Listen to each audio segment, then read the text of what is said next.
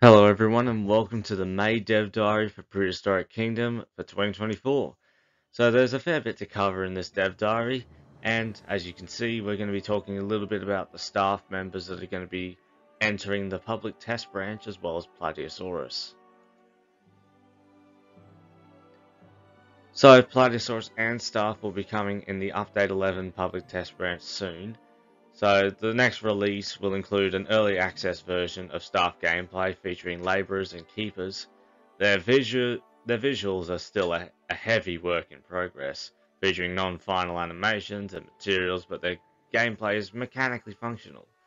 Although we explained how staff and logistics work in a previous dev diary, we'll quickly go through it again here with new in-game screenshots and GIFs. Yeah, so this is a um, pretty good look at what the staff system's going to be like. And I guess it's a good way of seeing the scale between the animals and people as well.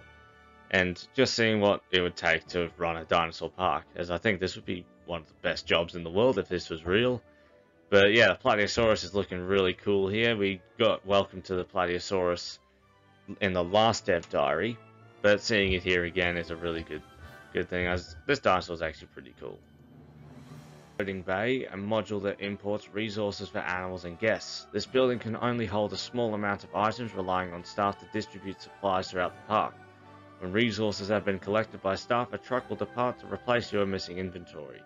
Returning later in the month, downtime between deliveries can be improved by purchasing up to two additional trucks per loading bay. So this is a really cool system, getting resources actually delivered to your park. Now, I wonder how far they're actually going to take this. So you can also see um, a little GIF here of like the, the trucks departing and entering. So it's a it's an interesting little system that they're working on. Since the loading bay can run out of room, you'll need to eventually expand your storage. Storage modules for goods and produce can be strategically around, placed around the park to shorten delivery times in the long term. In Prehistoric Kingdom, this is a physical process. Labourers will walk from the loading bay to storage modules transporting the required goods there is no global park-wide resource pool.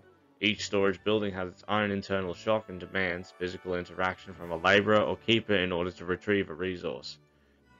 Players can selectively block certain resource types when selecting storage module, allowing you to flexibly customize how things are stored without having to clinically micromanage everything.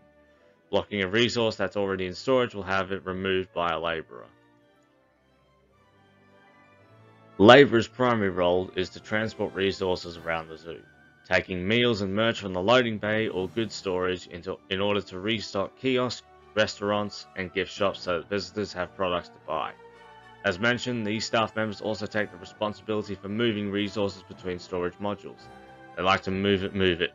Oh. okay. Keepers take produce from the loading bay, storage modules, or produce stations. They'll enter habitats via the new staff gates and restock feeders, providing your animals with food. You can see a work in progress here as the keepers will push a wheelbarrow. Oh, so they intend to, okay. They intend to make keepers push wheelbarrows once it's all finished. So they'll actually bring through a wheelbarrow full of the food and pour it onto the feeder. And seeing staff run around exhibits really gives us an appreciation for how big these animals were and highlights how massive these feeders are. Like, look at that. That is insanity. The size of that tall feeder just to feed the Brachiosaurus. Really gives a, gives a good idea of scale of Brachiosaurus too, as many people don't really appreciate how this animal was much taller than some of the biggest titanosaurs that we know of. But yeah, it's a really cool system here and a good way of showing size. Of course, after animals have eaten, they'll also excrete, Keepers ensure habitats stay clean by taking dung to the nearest compost heap for conversion into, well, compost. Oh, I love this shot here. It's, I like how this looks. This looks really nice. And the, the Triceratops, I, I always forget how good the Prehistoric Kingdom Triceratops is. It just looks fantastic. And yeah, so we got our compost heap, and it really blends in well. It looks like something that would be at an actual zoo. So that, that looks really good. Really excited for this, though.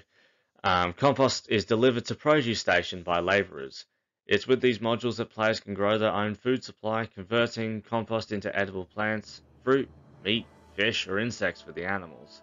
Without compost, produce stations will continue to generate food, but will do so at a heavily reduced rate.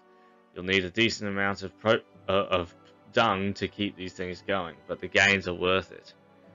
Yeah, I, am I'm actually really excited to see how this works, and I wonder if more detail would possibly be put in. Like, you see where the meat's being grown, I think there's going to be like chickens, maybe pigs and cattle.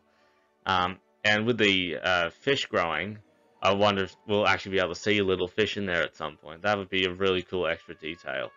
And insects, I mean, I don't know if they'll actually go to the detail of putting crickets and such uh, in there, but that would be in uh, that would be amazing if they did. I, I really like the idea of produce stations. I think it's a really cool thing that maybe even Planet Zoo could implement at some point, because growing your own food on site is something that many zoos do. Once staff go live on the public test branch, we'll be taking notes on balance while development continues on update 11. We aren't expecting them to have absolutely perfect out-of-the-gate features, and there's still a lot of work to be done on guiding players through this entire system. One of the funny quirks that staff currently have is that they'll freely navigate wherever they want. They'll always take the quickest path to their destination, if it, even if it means going off-road. This is something that we'd obviously like to improve, but regardless, they'll get the job done even if it means wandering through a desert for now. Another thing we'd like to quickly draw attention to are the staff gates. These are modular objects that can be placed anywhere. They are not exclusive defenses, this means that you can even create functioning staff-only areas, which can be essential for maintaining High Park beauty. Uh, that's something else that, that Planet Zoo should do, like have like staff gates so that like guests don't even wander into the staff areas without having to place a staff path down to stop them. Like, I mean, I know I'm talking about a bit of Planet Zoo here with, when we're trying to talk about Prehistoric Kingdom, but there is great overlap here in what can be possible for both games.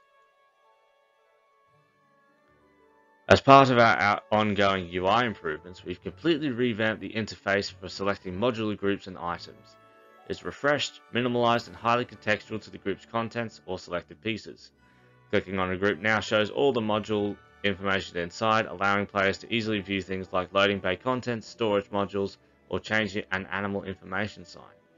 You can collapse each widget individually or hold the shift key to collapse all the widgets at once.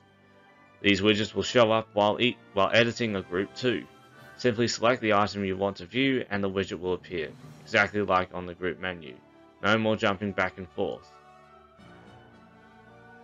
When selecting a group with lights, you'll be able to access a brand new lighting tab.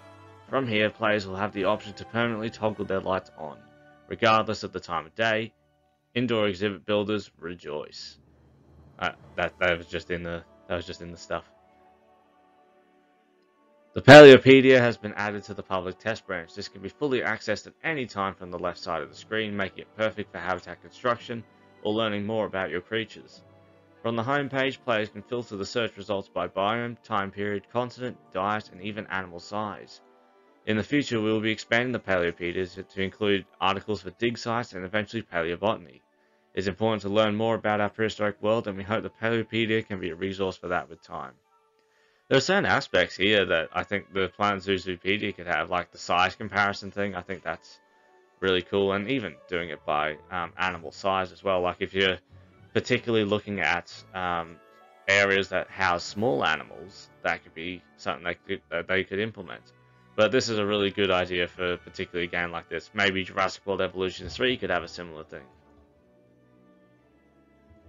As a small improvement for the animal visuals, we've added detail maps to almost every species. This is a subtle layer of bumpy skin and scratches that sit on top of the existing art assets. It's not noticeable at a distance, but helps greatly when observing animals up close. Beyond the expected polish needed for staff, there's a few things we'd like to do. For one, we'll need to do a lot of work on funneling, teaching players about the new mechanics. We've been designing a new help menu with updated articles to, uh, to detail how everything in the game works, and we'll also be re revamping the game's notification system to be more helpful providing suggestions and better information about what's wrong. In terms of staff, we still need to implement cashiers and then focus on balance until we're out of public test branch. Keep your eyes on our socials to find out when update 11 will be ready. That's really good. And down here uh, with the pictures of the um, skins of the animals, I assumed what they would be. Like I assumed that that was probably Plateosaurus and Triceratops. I think that is definitely Plateos uh, Triceratops. God. Sinotherium seemed like the best choice for that one, and Spinosaurus. However, I could be wrong on most of them. Update 12 will be a content-focused release, acting as a development buffer while we work on Update 13. It's going to include a new map, building theme, and includes three animals.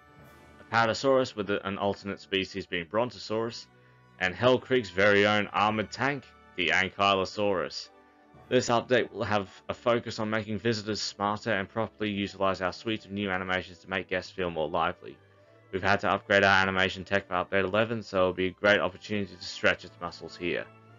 The Ankylosaurus looks great though, like look at this skin! Uh, I've been looking forward to Ankylosaurus coming to Prehistoric Kingdom for a long time, as the accurate version of Ankylosaurus is really cool. And yeah, I can't wait to see this guy in action. This is just some concept art, but uh, yeah, I'm really excited to see this guy in game. And same with Brontosaurus as well, as we only got concept art for that as well.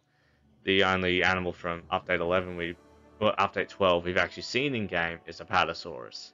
So I'm really looking forward to those two other animals. As a continuation of staff management, we'll be adding another new mechanic, messages. Through this menu, players will be able to negotiate employee salaries, try to keep staff on board and interact with the administration team.